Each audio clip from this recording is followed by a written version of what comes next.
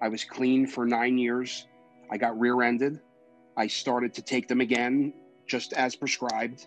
And then about two years later, so we'll say 2015, is when I got back into it. In my head, I said, I'm not even going to fight. I said, let's go. I'm ready. I'm sick of doing this. I don't want to be this person anymore. I don't want to look at somebody. And my first thought is, how am I going to beat them for money today to get what I need to get? I didn't want to do that. So I came out. I never look back. You, you know, I don't have those thoughts anymore. You know, like when I see somebody, it's a normal conversation. And I realize that I'm free now. I was the biggest manipulator in the world, and that's just not me anymore. So my life now is the best way to describe it it's freedom.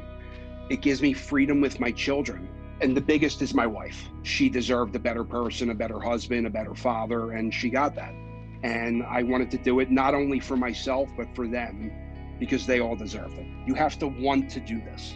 If you don't want to do it, it will never work. The people that think it's hopeless, they don't have faith in themselves. I thought it was hopeless too at one point. I said, "There's no reason to ever get clean. There's why would I want to get clean until I really wanted to?"